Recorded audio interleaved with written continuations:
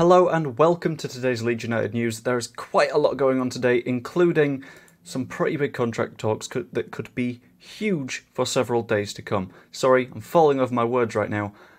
I'm very tired, I'm still feeling a little bit ill. First up, however, subscribe. It's really nice having you around. Be much appreciated, and I've got a few fun series coming up. Be nice if you could watch them. Anyway, diving into it, Leeds United have had a huge blow in terms of their cup match with Chelsea in a couple of weeks' time. Leeds United have received a cut allocation for the Chelsea clash. They're getting fewer tickets in Stamford Bridge than they were expecting to. Ultimately, it means that Leeds United are expecting to see 5,366 away fans in the ground, which is fairly low compared to what it could be. I think off the top of my head it could hit 6,000, a little bit more than that, but apparently there were discussions between various authorities, Chelsea Football Club, the police, all sorts, saying that it is a high risk fi- fixture, therefore they don't hugely want to make many risks. That means having less people in the ground and ultimately playing it a little bit safer. Unsurprisingly, Stamford Bridge will not be a full stadium. Really is. Imagine having to watch that every single week.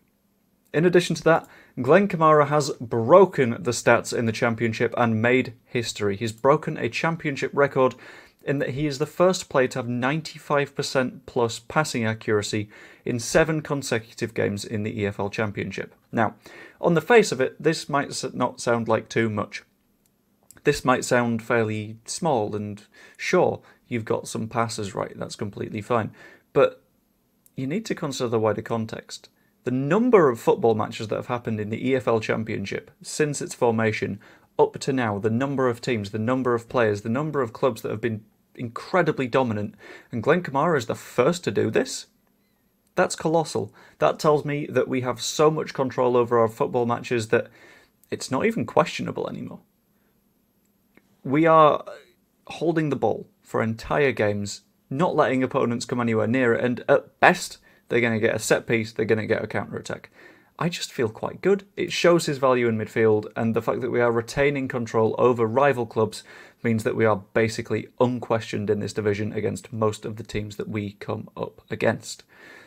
Now, on to the main story. Leeds United have engaged in huge contract talks that could massively change the path of the club this season and beyond. So, the general gist, and there is a lot more detail behind this, is that Daniel Farke is set for a contract renewal. This is being reported all over the shop by all sorts of websites, and for the most part, I trust a lot of them. They're the sites that sort of reported Glen Kamara months before it happened, so I'm happy to roll with it. Reportedly, this is set to occur after promotion, with that being the one big clause in this whole renewal situation. Because although yeah, we might look good next season when we've got Daniel Farke and he's got a contract that goes that far. We're not going to want to give him a pay rise if we don't go up. I know that he's done really well, but we factored that in when we hired him initially. Promotion, completely different change of events. If we get promoted, then he'll get a new contract. And that works for me. That shows that there is a clear intent on the part of the 49ers. It shows there is a very strong incentive from club leadership to say, look, we want to go up, you want to go up. Let's make it happen, but you need to go up in order to prove it.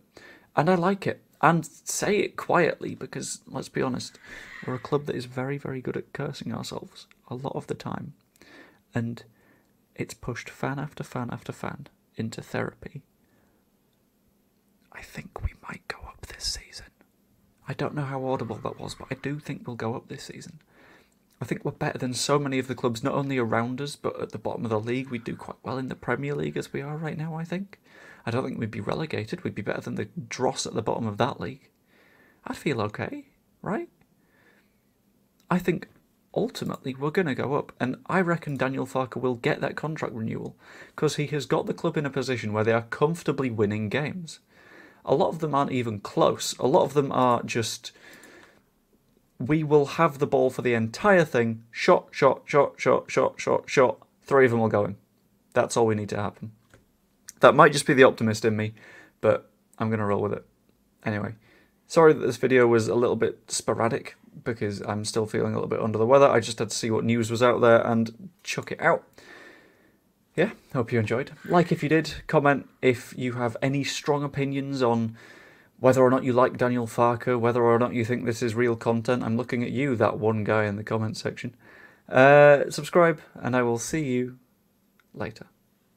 And for the people that stick around for this bit afterwards, should I do like a series on fun bits of Leeds United history? Because I saw a story the other day. I to know what you think. See you later.